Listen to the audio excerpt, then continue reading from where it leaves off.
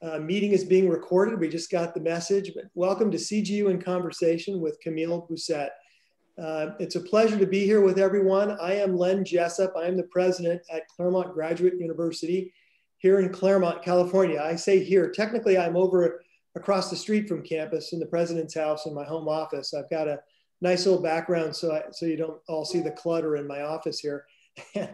uh, but just across the street is CGU and part of the consortium of the seven Claremont colleges. And it's great to be here with you today. And why don't we get started? So my first task is that I am to introduce my, uh, my co-host, uh, Robert Lang of Brookings Mountain West. So Rob, I'll read a little bit from your bio and then I'll go off script for a moment about you if that's okay. But sure. Rob is a professor of public policy in the Greenspun College of Urban Affairs and serves as the executive director of both the Lincy Institute and of Brookings Mountain West at the University of Nevada, Las Vegas, UNLV, go Rebels. He's also a resident senior fellow at the Brookings Institution in Washington, D.C., uh, and holds a PhD in sociology from Rutgers University. Uh, prior to his time at UNLV, Rob was in similar, similar leadership roles at Virginia Tech in the College of Architecture and Urban Studies there. And before that, he was in leadership roles at Fannie Mae back in Washington, D.C.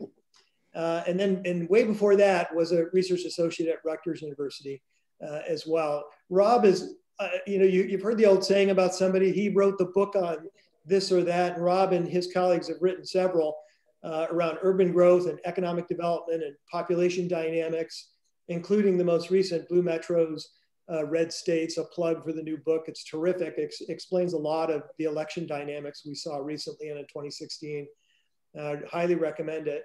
But off script, Rob, I'd have to say that in my time at UNLV, you and I worked really hard together on some big projects, you and your colleagues, both at Lincy and at Brookings. And if it weren't for the teams at Lincy and Brookings Mountain West, I don't know that UNLV would have a medical school or there would be a stadium and UNLV would have a role in the stadium. you guys wrote large sections, if not all, of the, of the uh, governor's economic development plan, which led to great things for the state of Nevada. And like the list goes on and on and on. The medical education building, which you guys figured out a business model for that's now coming to fruition.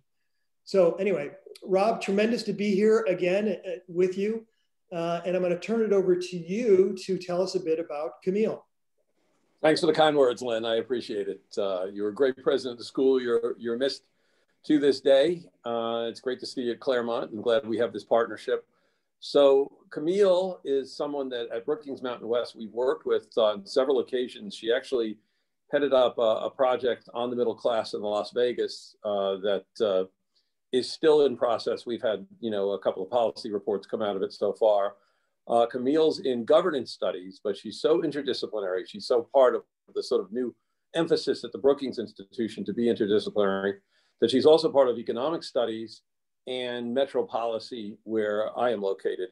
And she's director, I want to get this right, of Race, Prosperity, Inclusion Initiative at, uh, at Brookings. And before she came to Brookings, like so many people at Brookings, there's lots of diverse background experience, public, private sector, in and around Washington, D.C. As Len noted, I was at Fannie Mae, and uh, Camille was, for example, at, at, the World Bank. And, you know, the, the funny thing in Washington is, uh, you know, I'll just say this and I'll turn it over to Camille. You could tell the sort of prestige of the institution by how swanky the lunches were that they did as policy events. And I was always impressed that no matter how wealthy Fannie Mae was, the World Bank always had better like catering and hors d'oeuvres and sort of better digs than Fannie Mae. So I deferred to it. I was always impressed with the world. You know, you couldn't go and get an account there. I had a lot of people ask me that, by the way. You know, what do you need to get an account at the World Bank? You know, maybe you know inclusion in the UN, for example. But uh, you know, it's it's a serious outfit. All all kidding aside about the the quality of DC uh, catered events uh, and. Uh, Camille's background is perfect for somebody who has seen the intersection of these forces, which she'll speak to today. And it's a partnership for not just her, but some of her colleagues like Richard Reeves, who we work with very closely. And the good news is that we're mid-process on a bunch of new deliverables that'll come out that are connected to even the shock of COVID right now. And, you know, uh, Camille is just indispensable in all this work. And I'm happy that uh, I suggested to Len that she'd be a good person for the seminar that really met the charge of the series. So I'll turn it over with that to Camille. Camille, it's all yours. Thanks very much, Rob. Um, it's so wonderful to be uh, with both of you here, Len and Rob. And um, it has been just such an honor to be working with Brookings Mountain West, such a fantastic set of colleagues and students. I'm always very, very energized by um, when I go there and when I work with you guys. So it's just been a fantastic partnership. But with respect to World Bank lunches, um, my son, who's now 15, but when I left the World Bank was 12, um, said to me, Mom, are you, but are we going to be able to go back to the cafeteria over there? And I was like, Well, no, because I don't work there anymore. And that seemed to be like a real tragedy from his perspective because he, when he would go, he would get sushi and then, you know, stuff from the Middle East and you pile his plate high with all these amazing things. And it would cost me like $80 to feed him at the World Bank. But um, so yeah, real tragedy for him, but we've moved on. And he tells me that Brookings has good lemon bars. So I think we're good. Oh, nice. that's, uh, that's, kind of here at CGU, kind of how we feel about Pomona College we look across campus, uh, the relative riches. But Camille, you know, when we do the CGU in conversation, we usually start off with a few questions just so the audience can get to know you, the person, a bit better. And so if you wouldn't mind take us back to your beginning as you think of you when you were at that young age, like you just described. What, um, who were your early influences back then? Maybe a parent or another family member or a teacher or a coach, you know, whomever it might have been. But who were the people who had an early influence on you that led you to this place that you are now? You know, that's such a great question and something I, I think about frequently now that I'm a parent and, you know, have to sort of conjure that stuff up for, uh, for my son as well. Um, but you know, I my my family is originally they're originally immigrants. So my dad's family from Trinidad and my mom's uh, family from the Dominican Republic, and um, we were always, you know, as a family, we had a very big extended family, which is very true for immigrants. You know, all the people are always in the household, and um, we. Uh, it, as a as a family, we had a very big interest in um, politics, and it was always a subject at the dinner table. And you know, everybody would get into it. And, you know, what very common in these kind of family settings, you'd have three different conversations going on and sometimes they would cross and that sort of thing. So very sort of intense um, and uh, vibrant kind of family life. And um, I ended up being sort of having that be the, the foundation for my interest in politics and policy. I went on to do other things as an undergrad. I was originally pre-med and really liked that. And then um, sort of did an about face after I got into, after I was accepted to medical school, um, I had been taking all this poli sci, you know, and, and public policy, um, these courses, economics courses. And I just at the end decided, you know, that's really not me. I'm not really somebody who wants to work, you know, 90 hours plus and, you know, 72 hour schedule. And I really am interested in policy and the way it impacts people's lives. And so um, I would say that is, so I kind of reverted to where I had started um, in my family. And I would say, you know, my parents were really the most influential there. Um, but then once I got to graduate school, I would say my graduate advisor was probably the most influential. Adam Przeworski, I worked with, he's now professor emeritus at NYU. Um, but he really focused me in a, a, really interesting way. And I think that stayed with me. Um, I am very, very problem oriented. Like I look at things as, okay, there's a problem and how can I train, you know, a variety of different perspectives to try to solve that problem. And that's kind of how I've approached almost everything I've done professionally since graduate school. That's great. When you're with family now, uh, maybe not these holidays because we're all going to be uh, staying right. at home and being safe, but you know, normal times at a holiday gathering, you're back with family. Do they still want to have those wonky policy discussions with you or is it about they're they're you know more interested in other things to talk about? No no we still we still have those. And you know my family's obviously larger now because my brothers have gotten married and um, all that. No everybody's still very very interested in politics and very um, you know really uh, intensely engaged and it's interesting because i come you know they all live they live in your wonderful state um, i'm a californian and so they all live in Northern California, no offense, but they all live there. I, I was born in Southern California, so I do have roots down there. Um, but, uh, you know, somebody coming from Washington, D.C., it's like, oh, you're the source of all the information, like what's really going on over there. So, um, yeah, I get, to, I get to chat about about politics as well. A quick commercial Chamber of Commerce for Southern California. It's 79 degrees and sunny here right now. So well, that's good because you know it's like 38 degrees here in the Washington D.C. area. Um, oh boy! as my family says, why are you still out there? what? So fast forward now, and so what? What brought you to Brookings? What was? How, how did how did that happen? And what was the lure into the Brookings Institute?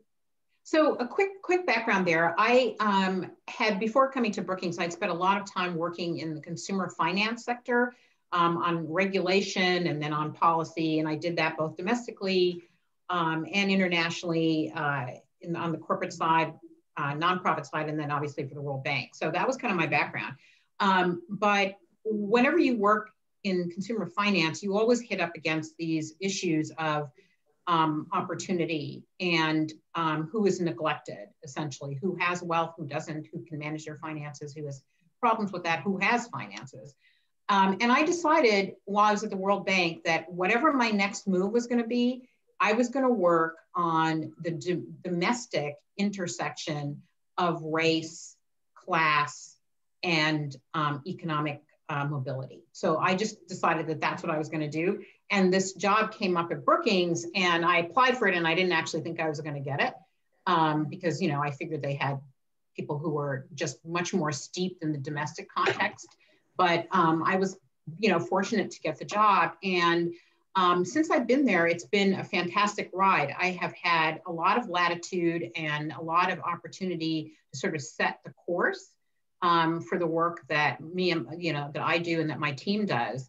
Um, and we've gotten tremendous support, so much so that John Allen actually launched. He's our the president um, at Brookings. Yeah. Launched uh, a presidential research priority on race um, equity and justice this year. Okay, terrific. Had you come in under Strobe or was under later under John? No, I came in under Strobe. Yeah, yeah I came in in 20, uh, mid 2017. Yeah. And uh, so Strobe was still president and was for um, for at least another six or seven months after that. Okay.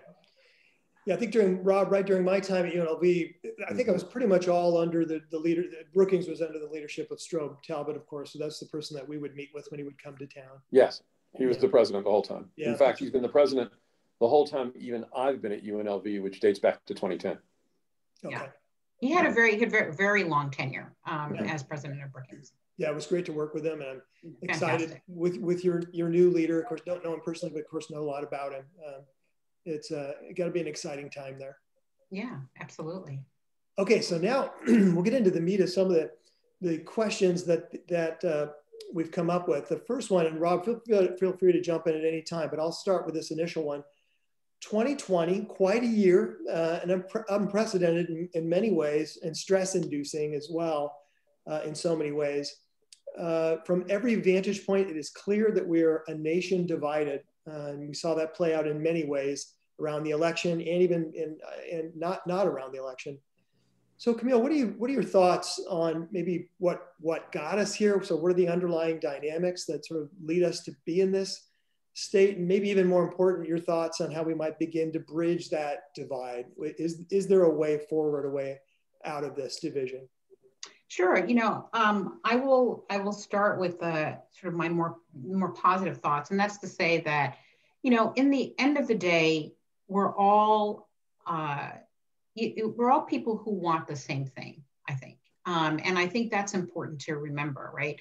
We get up, we want to um, to, to have a, a, day that's rewarding. We want to be um, valued we want to be loved and we want the people we love to do well.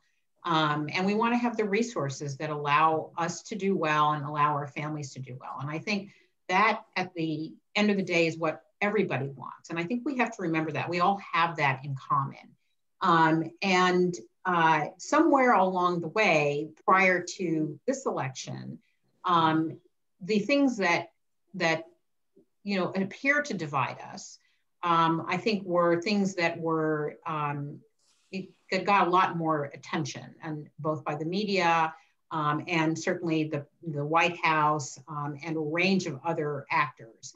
And so I think there just has been um, there's just been a sort of a, a festivus of feeding on divisions divisions that may not actually be that critical for Americans. And uh, when we think about where we are right now, right, everybody's facing the same pandemic. Um, regardless of who you are, um, you are, you know, under a lot of stress. You may have lost a family member, you know, sadly to the pandemic, or you may have gotten, you know, gotten sick with coronavirus. Um, you certainly have been impacted your work. Uh, you may have either lost a job or you've made drastic changes in the way that you work. Um, your kids, you know, if you have kids, are also having um, to adjust. So everybody's having to adjust and everybody's having, you know, a very similar stressful kind of experience. Some are having it more as more stressful for others, for some than others. But, you know, at the end of the day, I think we're all we're all in this boat together. And I think one of the things about coronavirus is that it has shown how similar um, we are in the end as human beings, that in the end we want to socialize, um, that we want to be with people we love, and that we want to be able to get on with our lives. And so um, I think we can build from that. And I think, uh, you know, not just politically, but I mean, as communities, I think we can heal um, and really build on those commonalities. Politically speaking, um, you know, the new administration will build on that. Um, and I know this is something we'll be talking about, but I think it's incumbent on all of us to think about what's common in our experiences and move forward with that. Yeah. Uh, Len, could I could I follow yeah, up on that and ask yeah. you something related even to this uh, election and directly derived from what Len is talking about? So you know from this election that there was a big divide between million plus metropolitan areas, big blue right. metros as I track versus smaller metros, small towns, rural areas. Uh, could you speak to the race and opportunity mix with regard to place and whether or not you know there is a kind of an economic or cultural divide that is the barrier that is now separating the more, let's say, robust discussion on, on race and opportunity that you should have at the national level, but is hampered by some of the divisions you've identified? Yeah, um, absolutely, and I think that's a that's a great question. So, you know, very recently, um, I had uh, was serving on a panel for the Greater Akron area, and they were talking about inclusive growth. And the Greater Akron area is a great, um, I think, uh, sort of case study for what you're talking about because you have it, you know, as, um, as far as the demographics there, you have a very, very large um, African American population, and you also have a large population of working class whites who have um, not been able to uh, recover from the sort of post-industrial, you know, disinvestment um, in the Akron area. And so, what's interesting about that is we often talk about those two populations as though they are completely different, right? So people who are who, who you know were who had good um, working class jobs and now no longer have that and they're white. And then people in you know blacks uh, in, in uh, akron who never really had access to those kinds of jobs. And we think about them as very different the histories are indeed different but where people need to go, how they need to move forward is actually quite similar. And so I think, you know, when we're thinking about these metro areas that you're talking about, um, and we're thinking about revitalization, there has to be a narrative of not leaving anybody behind. And what I mean by that is, yes, there are going to be certain targeted programs for people who have not been able to be economically mobile ever. But there also need to be programs for people who find themselves in uh, a kind of a stasis from a career perspective. And we need to have a, we need to have an attitude that we are better off bringing everybody with us. And um, but those divisions are real in the, the in the you know as you've mentioned, and people tend to think of these groups as really different. And I actually think that we need to start you know thinking outside the box there and really thinking about what are the commonalities particularly when you're talking about economic development you know you want everybody to have a paycheck. You want people to be participant in the economy. And the only way you can do that is to make sure everyone is participating. Excellent. You know, as you asked that question, Rob and Camille, as you were answering, you reminded me of a colleague who's probably watching us right now on the team here at CGU. And she said that as an experiment, because she felt she needed to she needed to, to better understand politically speaking the other side you know, kind of the other team. And after two or three weeks she's running an experiment of just watching news on the other side in the evening. Uh, right. it's not necessarily aimed at changing her mind but that helping her to understand people who who sort of that that is the feed you know that they're getting and to sort of understand their understanding and where they're coming from. I thought it was an interesting, uh, interesting. Experiment. It is very, it is very interesting, and I think you know Rob has done a really great job in his book talking about these various different uh, political profiles and demographic profiles. And um, what I what I do think is is interesting is that um, Biden was able to put together an, a, a coalition that was really a bit unlike the Trump coalition, right? He actually he brought in working class whites along with um, Latinos, particularly on, in the Southwest, West and Southwest, um, and African Americans. And I think that's an interesting starting point. And Rob, I'd love to get your thoughts on that, um, since you know, your book came out before the 2020 election, but I think speaks to some of the uh, some of the results we saw in the 2020 election. Sure, and you know we just ran the data because you know things are getting certified. So it's the first time I can actually answer a question about, you know, what was the divide? What was the coalition? And you're right. What happened is it's interesting that there's been so much focus on Philadelphia as a city or Wayne County. And what you see is actually Biden's wins were at the larger metro level in the suburbs. For example, in, in the critical state of Pennsylvania, which is, you know, the sort of real tipping point state in the country at this point. Uh, and the Philly metro area overperformed for Biden because of its suburbs that included white working class districts in Delaware County, just outside of Philly. And that Biden actually suffered some loss from Clinton's numbers in Philadelphia proper. You see that all around the country. And Latinos are interesting because you made the distinction in the, in the West and Southwest. Latinos held, and there was loss by that coalition in South Florida, in particular along the Rio Grande Valley. And Biden has the elements of a larger working coalition than if Clinton had won in 16. She won the popular vote, lost the electoral college, because it actually did reach into, and it actually underperformed in some minority uh, demographics, and then overperformed with whites without college degrees, which is typically seen as working class, and close some of the gender gap as well, that men don't vote as differently as women in some of these categories as they did. Men with college degrees uh, really closed the gap in the suburbs of larger metros, million plus that we're tracking. And, you know, so the temperature is down a little on where we were. It's not as stark a divide as it was in 16. There's still a giant gap in that Biden won a very small geography, which is highly concentrated in these metros, and he lost any metro below 500,000 practically. Yeah. In fact, that's the that's the tipping point. And and he loses suburbs, incidentally, if the suburbs have 800 people or more per square mile. We find that they tend to go for the Democrats. If they're less than 800 people per square mile, they tend to go two thirds to the Republicans. So it's a lot about urban populations, a lot about people whose exposure to difference in large scale metros of you know diversity and people working from around the world. And you know even if you're a white and you're in atlanta it's you know and you and you go to georgia tech and you work in technology and you see the global economy as expressed and successful in atlanta you have a very different attitude from somebody who's in south georgia. Yeah i think that's true. That's right quickly, so a comment that came in on the chat, it's interesting. These comments suggest that leadership and how these issues are framed is critical. So what's the comment around leadership? That's a nice segue into actually one of our, our questions that we intended was we've got a new presidential administration coming in in the in the new year, just a matter of weeks away. So how best, Camille, can the new presidential administration engage the nation?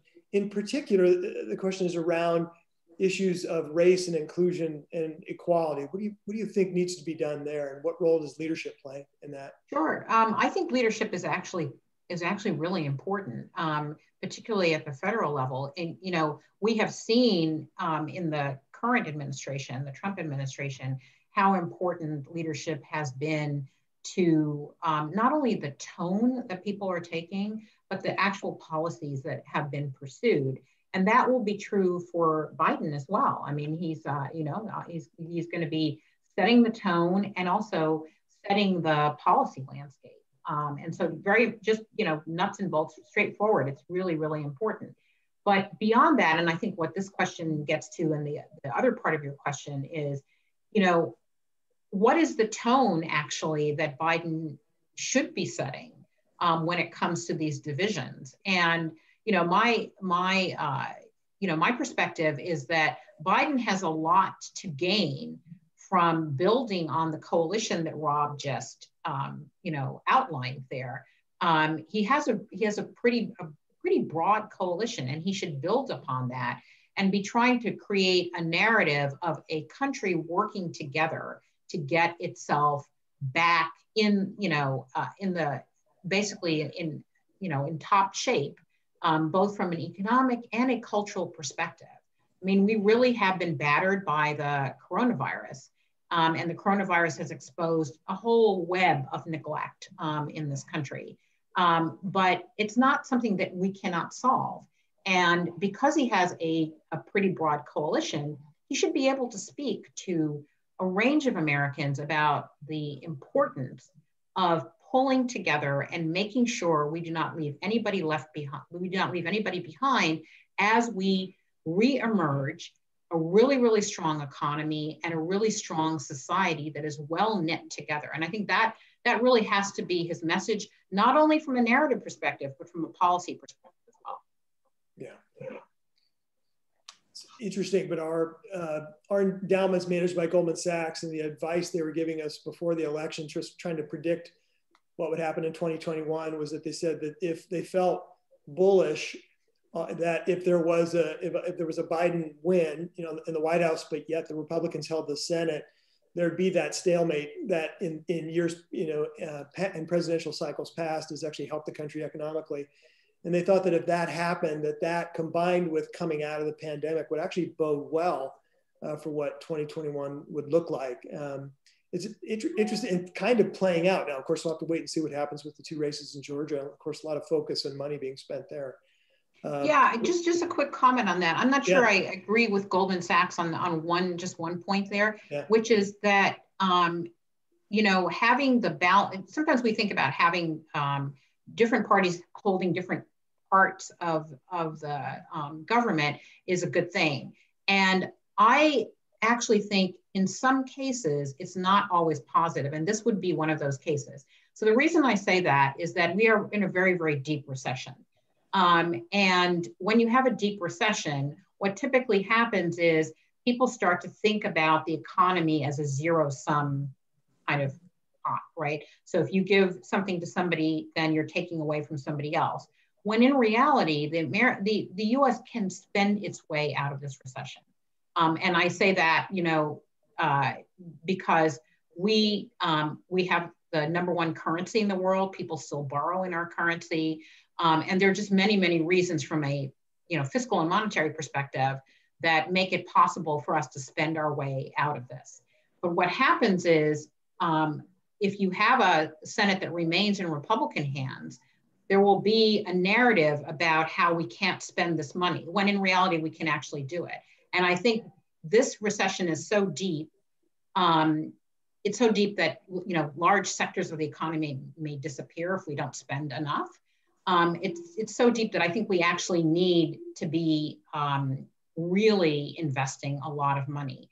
And I think in this case, having Republicans say no, we need to be fiscally conservative right now I think will put brakes on a potential recovery. So I, in that respect, I actually disagree a little bit with the Goldman. Okay.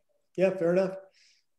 Shifting gears back to economics for a moment. This is a question sort of that about kind of macro, micro. And it's that we often talk about the economy and we're doing a bit of it here at the at the macro level. and but, but yet it's about personal and individual, real people, you know, and real issues day to day uh, that that make up the collective that we theorize when we talk about macroeconomics.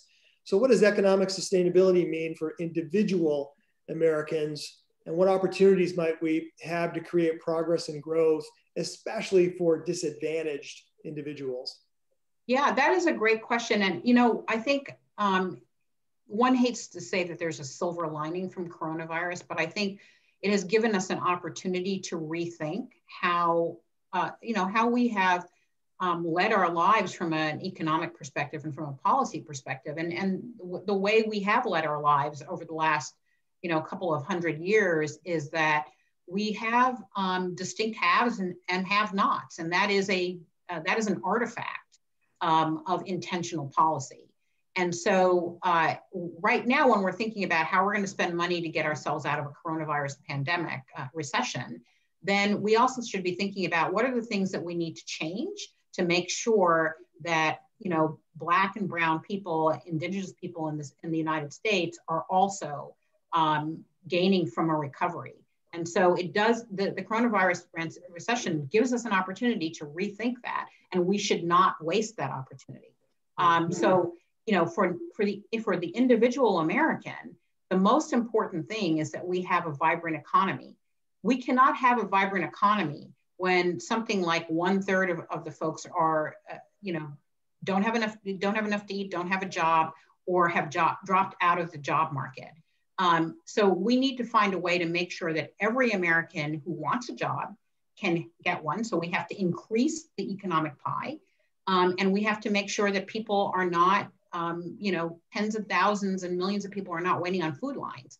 And so I think the number one thing that the Biden administration has to do and every other policymaker down the line is really make sure that we stabilize Americans um, and nobody is falling through the cracks. And then we build on that and uh, get back to economic vibrancy, but an economic vibrancy that, that creates good jobs with benefits for everybody who wants a job you touched on the pandemic. Are there other ways that the pandemic has shifted your work and research or your thinking uh, at Brookings, particularly with the, the work on the middle class? Yeah, absolutely. So um, there we have the Future of the Middle Class initiative that Rob alluded to, um, uh, and um, there we have focused a lot on how do we the, we focus a lot on the fact that the middle class is very stressed in America, and of course that has become you know abundantly clear during the um, pan pandemic. Um, but what we really focus on there is what are the policies in general that would make the middle class much more vibrant, less stressed, et cetera.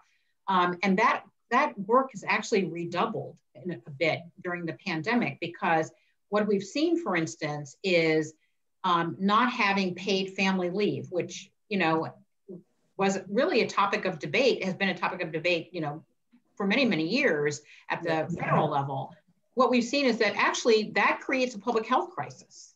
Um, and when you create a public health crisis because you don't have paid family leave, that creates an economic crisis. So now, you know, we have gotten to the point where some of the policies that were considered uh, very radical um, have now become very mainstream given what's happened in the pandemic. So for that particular initiative, um, a lot of the work that we've been doing has now become, um, has really become center stage as the federal government tries to pick through a variety of different policies that they might, um, you know, propose in an incoming Biden administration.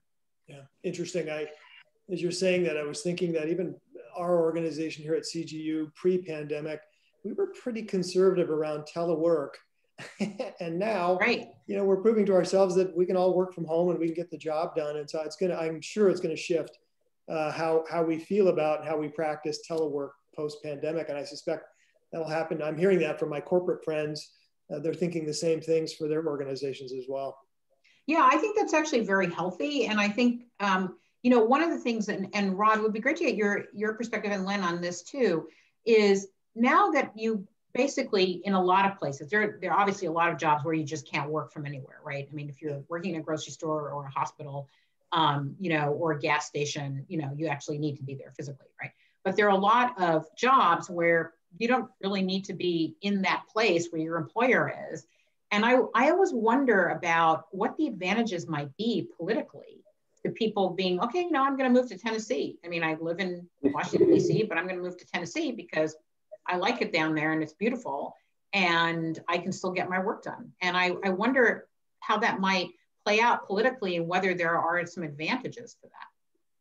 Funny you should raise that because I'm working on the state's economic development uh, plan or recovery plan now uh, at the moment, and that's come up because you know a state like Nevada is so close to California, and in relative terms of taxation, it's so low tax.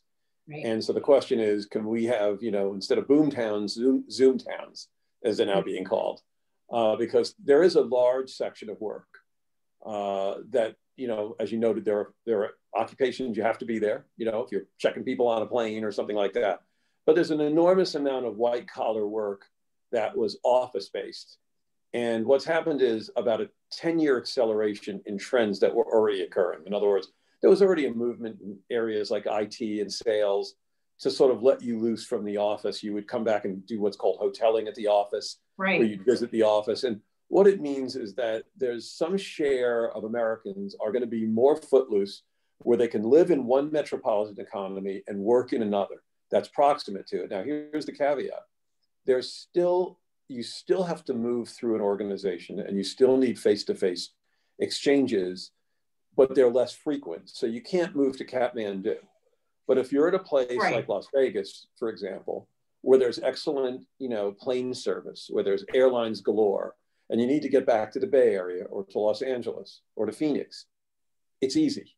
And if you need to show up a couple of times a month, that's just built into your into your travel budget, basically. And so we're looking at the longer term effect on that. And Nevada is one of the beneficiaries. And you've already seen, by the way, what's interesting politically is so much of even northern Nevada, which is proximate to the Bay Area, has benefited by the Bay Area's expatriation of certain businesses, you know, notably Tesla, but others. It's actually made Washoe County, which is Reno, so much more liberal that Trump actually gained in Clark County. And whatever he gained, he lost so much back in Washoe, the state was even Steven with the last election. The state wow, would have been more competitive. He was actually gaining in Clark. But that so many Californians people, Northern Nevada, and California is traditionally, you know, occupied Southern Nevada. We estimate three times the number of people born in California that vote in Nevada's elections in Clark County than native born to the state. But you didn't have as much of that in the North, and you have it now. So it's actually transforming, you know, what, what is a swing state and, and making it bluer. And it's changing opportunity structure in that you might be able to get a first rate job and live in a low cost region. And you might be able to then not have to sort of live in a hovel in these boom tech towns. And it might benefit a large chunk of the middle class that's not on the fastest track to the senior most positions at Google, but of the kind of yeoman like employment. Suddenly you can live in Reno, you can live in Vegas, and you can work those jobs. So we, we think of it as something positive in our terms, in terms of the perspective of Nevada for economic development. Rob, you touched on Southern California. That was one of the questions I wanted to ask. It's a good time to ask it. CGU is located in Claremont, obviously. We're within LA County. We're right on the edge of LA County, literally the edge of the Claremont colleges. You cross the street, you know, now you're in, you've got Riverside County and San Bernardino County in the Inland Empire. So while we're technically part of the LA Metroplex, we're also in the 909 and we, we embrace that. We're a part of the burgeoning Inland Empire. So, but my question is about this whole area, which, you know, now back here, I had lived here earlier in my career, now being back again, it's obviously an incredibly diverse and, incredibly powerful, you know, economically speaking and culturally speaking region within the country. And do you think that either one of you, the dynamics around race and economic parity look different here in an area like this, maybe as compared to how they might look in other parts of the country?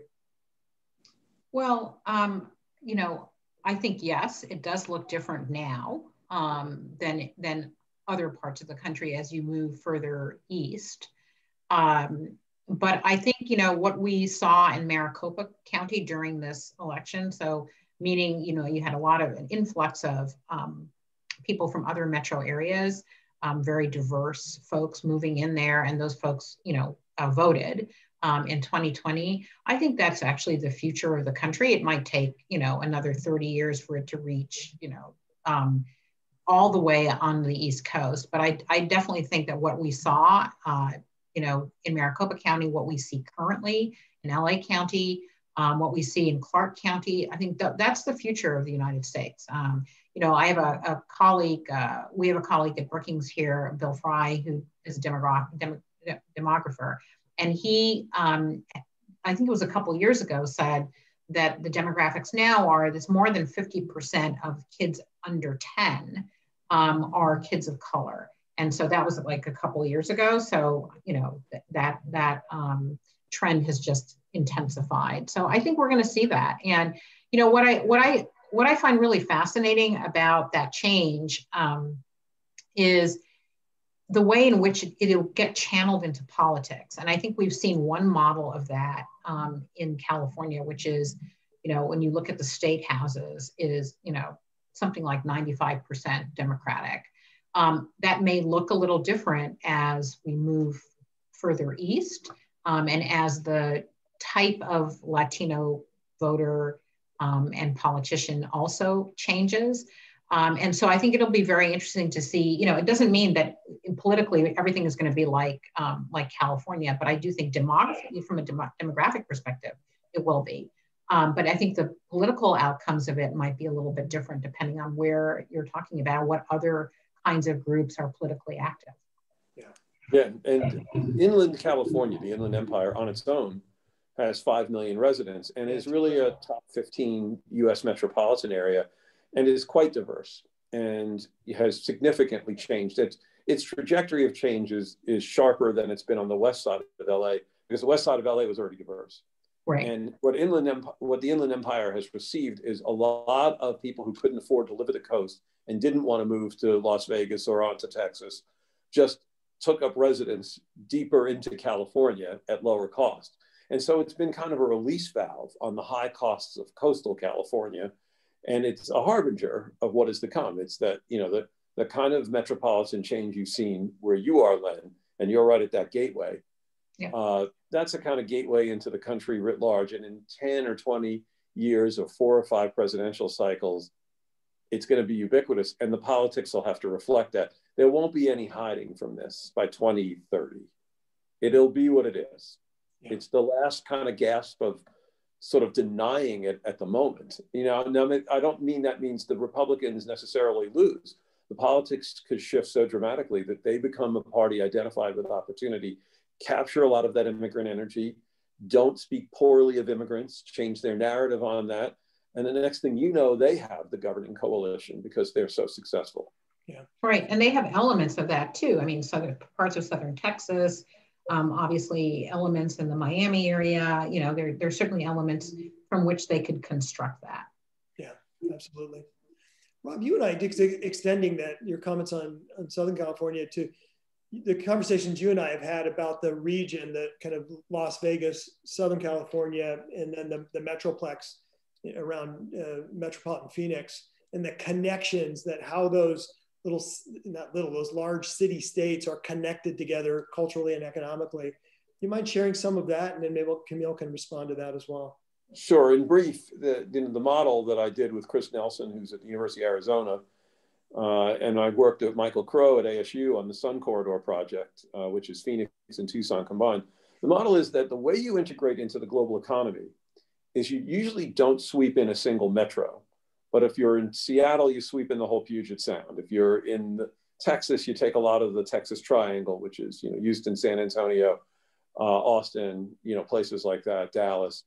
In the Southwest, the the inland inland empires are actually Phoenix and Las Vegas, and they're wholly dependent really on the success of Southern California's integration into the global economy because what they are are they they are essentially tiered one level below in terms of global trade, but they're not backwaters and they're not in the middle of Iowa. They're not, you know, they're not Des Moines. They're well positioned as long as the entire unit itself sees its future as a globally integrated area that's competing against other large scale areas in Asia and Europe, like you know parts of Southwest Germany in auto manufacturing, or you know the area from you know Seoul down to Busan in Korea, that that space that we're in, we're essentially in the same metropolis because that especially changes with the Zoom economy. Yeah. Yeah, I agree with that, and I think um, you know I love I love that model, and I think if if um, if that can be factored into you know all kinds of economic development policies and workforce policies, um, even policies around higher education, I think that makes for such a juggernaut. And as you're as you're saying, you know, yeah, you have to depend on LA still has to be LA, but LA will continue to be LA. And um, that kind of integrated policy, I think, is really it, that is going to be the distinction between places that do well and places that don't do well. Inland places that do well and inland places that don't do well it's exciting to think about collective action around Southern California, Phoenix Metro, uh, and Las Vegas. We've seen some of that, Rob, obviously with the I-11 corridor and the work on the on the bullet train on this side. So a little bit of that collective action, but boy, wouldn't it be nice to to envision that and seeing that actually come to fruition. Yeah. Uh, normally in this we do about 45 minutes of what are supposed to be kind of my questions and then the last 15 minutes to turn to audience questions. And I've been kind of doing a hybrid of that throughout. Um, but I'll, I'll, pull next a question that came in from an audience member. And this is, I'll, and I'll read this just so I capture it right. Do you feel that a multi-party system, political system, would better represent the collective interests, I'm just gonna read, of, of Black people or Native people? And how do the needs and strategies for improved representation differ between groups due to the significant difference in population. I, thoughts on that, Camille? I'll toss that to you.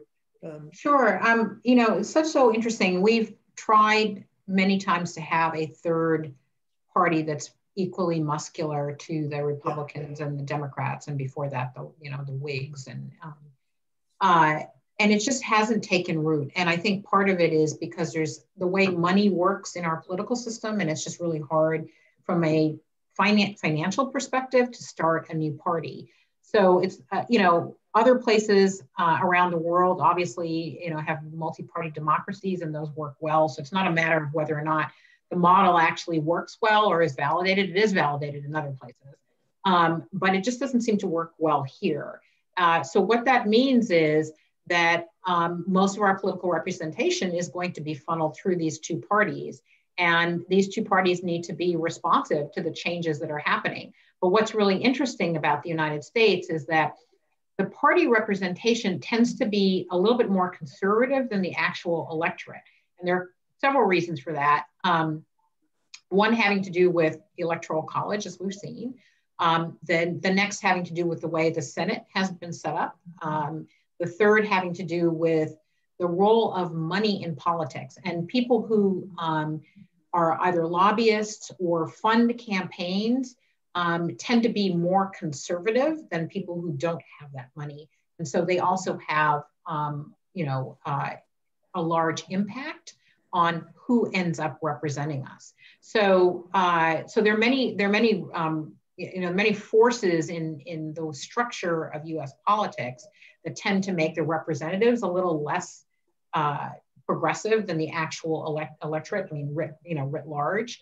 Uh, and so the one way to counter that is to make sure that people who, um, you know, are really interested in having progressive voices represent them are registered to vote, actually vote, um, and are really uh, are very active in the lower levels of policy, uh, lower levels of politics, and those lower levels, you know, tend to feed up to the federal level. So um, there are many ways, there, there are a couple ways to counteract that, but I think overall it has to do with voting um, and making sure you're participating in the voting process and participating in the political process at lower levels.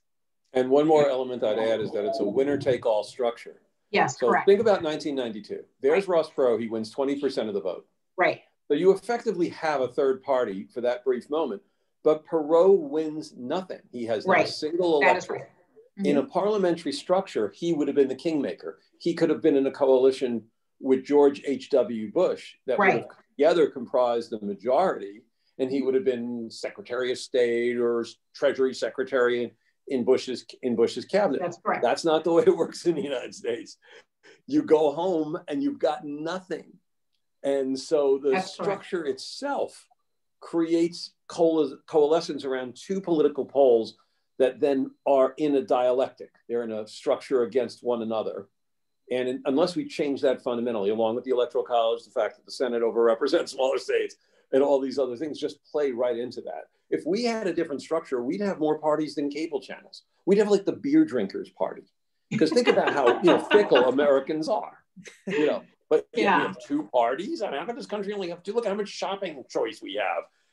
Right. No, it's very true. Very, very true. Well said. That, that sounds like an actual party. I think the beer. You, would go, you'd be behind that. you know, Brett Kavanaugh would have been the appointee to the Supreme Court out of the beer drinkers party. It turns out he likes beer. True. What you know? Speaking of that, you maybe think about the Electoral College. Are we looking at an assault on the Electoral College? Do you think that that model still has legs, or is that is that antiquated model uh, needs to be uh, rethought? Well, you know, I, I do think we've proven that, um, you know, American citizens are capable of voting for whoever they want to represent them and don't really need the electoral college in between all that. Um, and there are obviously complexities associated with that, but every, you know, four years, this is a topic and um, nothing ever changes. So I, you know, maybe Rob has a crystal ball, um, but I don't, I don't see us making any changes in that system. I mean, Biden won the election by over 7 million votes, popular votes. The guy came within 40,000 votes of having an electoral college tie, which meant it would have gone to the Congress and Trump would have won because of, because of the way the right. electoral college works. The only out is probably not constitutional, but the electoral college voter compact, the uh, popular voter compact rather, which says that uh, the, the votes in any state would be assigned to the national popular vote winner, but it, it's only got about 200 electors represented right now. You need 270 for it to work. And Nevada actually passed it in 2019, and the governor vetoed it because he wants to stay a swing state. He wants the tourism off the swing state was the was the rationale. So there's all these sort of weird things. Unless there's an unmitigated disaster of several elections that go awry in a row in a row, I just don't see it happening. What, Camille, as you look forward at, at your kind of body of work coming up in 2021, what are you most excited about? What are the projects you just can't wait to, to dive into and to put some to put some work into? What excites you, you about the year coming? Yeah, I'm glad you asked that. I mean, one of the things I've done over the last couple of years is I uh, did a project where um, we interviewed uh, people in four different cities um, about who they who they turn to when they want to find a new job, new housing opportunity, or new educational opportunity. Um, we did that in Charlotte, Racine, uh, San Francisco, and Washington D.C. And and overall, what we found is that um, people tend to turn to people who look like them, so they have very homogenous um, social relationships when it comes to economic opportunity. And in this country, that tends to mean they're racially homogenous. Those groups are racially homogenous. Um, and when you compare the groups in terms of the resourcing in, in those social relationships and social networks, we found obviously that whites and particularly white men were the most uh, resourced. Black men were the least resourced in the sense that they had fewer people to turn to when they were trying to access jobs and opportunities. Um, and then we looked, you know, obviously behind that, and there are many, many reasons you know, to explain that. But what came to the fore was that Black boys in particular, and this is true for Native American boys as well, though we did not study them, but they tend to be pulled out of the kinds of situations where you would build those social relationships at, at school. Um, and then later, uh, you know, um, as they become men uh, in terms of employment, um, they're frequently incarcerated, et cetera. So they just tend to be pulled out and they don't have those social relationships. All that to say that the project that I really want to work on is um, how do we target Black male unemployment, make that a key statistic for, uh, for national policy and try to drive that statistic down um, to equal white male unemployment. And the reason I want to work on that is that there's so much that's underneath that bad statistic, so many, you know, a legacy of so many bad policies, et cetera, that it's going to force us to examine a range of other policy um, uh, policy choices. And what happens when you drive down the black male unemployment rate is you also create opportunities for other people who are also marginalized. So it's like a like a curb cut, you know, where you make the curb cut and people with wheelchairs use it, but so do skateboarders and and um, you know people who have uh, um, uh, strollers, et cetera. So I see I see that as being an area that I really want to focus on, and um, I'm really using it as a leverage point to uplift a, a number of marginalized communities. Excellent. It's you know you reminded me that when I was back at UNLV, Rob, the under among the undergraduate population, there was definitely there were definitely differences in student success, especially the retention measure uh, between students of color versus not. I hadn't thought about that in terms of the of the social relationships and the effect that that has. That's interesting. Hmm.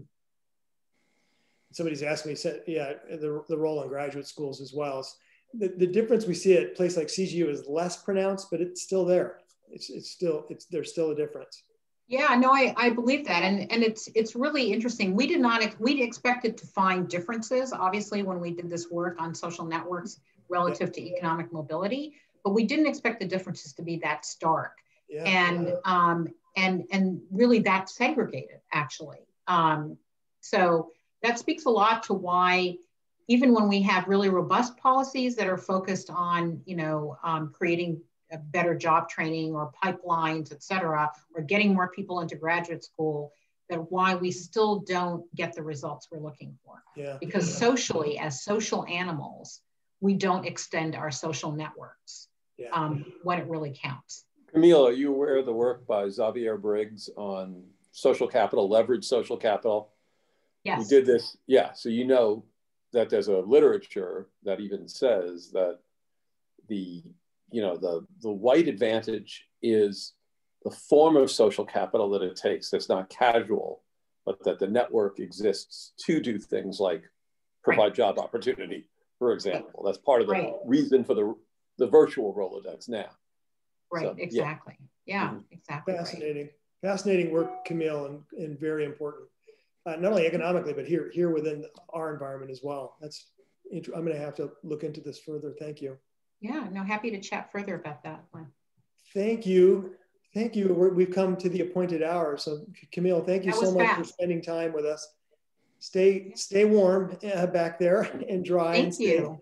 And, and, Rob, thank you too uh, for helping sure. uh, us to for finding Camille for us and helping us to set this up as well. Um, and uh, Rob, I'd like to follow up with you and find out what you're doing in 2021. We've, we've yeah. run out of time, but it sounds like you've got an economic plan to work on. Yeah, and I'm writing, I'm um, starting a book uh, with Karen Danielsen and David Damore on urbanized suburbs, about the characteristic of urbanized suburbs. It's a follow up on my book Boomburbs from 2007, but we're calling them metropolitan suburbs, and it's based on the ones that really changed the outcome of the election, actually. So yeah. we're in the book proposal stage. Most of the work will get done. We need the census to get counted, or I can't do anything. So hurry that census up, federal government. Yeah, right. Great. This has been fantastic. And this has been great. Thank you so much. I, I, really enjoyed it. I love the audience questions. Len, I hope you guys will be back in session um, yeah. at some point in the near Soon, future. I hope. Yes. Yeah. Yeah. Thank you. Yeah. Well, we'd like to thank our audience. We're going to go ahead and sign off. I, I didn't wasn't able to get all the questions I saw coming in, but we did get to a number of them. Thanks again to our audience and Rob again and Camille. Thank you. And I want to thank Sunny and Michael and Mary and Gerard. We got a whole team around us that help us to put on this webinar today, and I want to thank them as well. All right, Great. take care, guys. Stay safe. Have a great afternoon, Bye. everybody. Thanks. You too. Take care. Bye-bye.